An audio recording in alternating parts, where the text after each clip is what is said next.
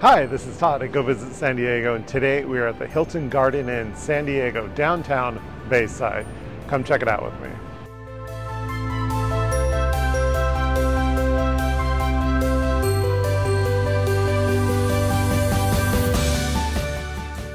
This Hilton Garden Inn is also right on the edge of Little Italy, which is great for going out to eat, getting some coffee, grabbing a beer. There's breweries, amazing food, great for people watching.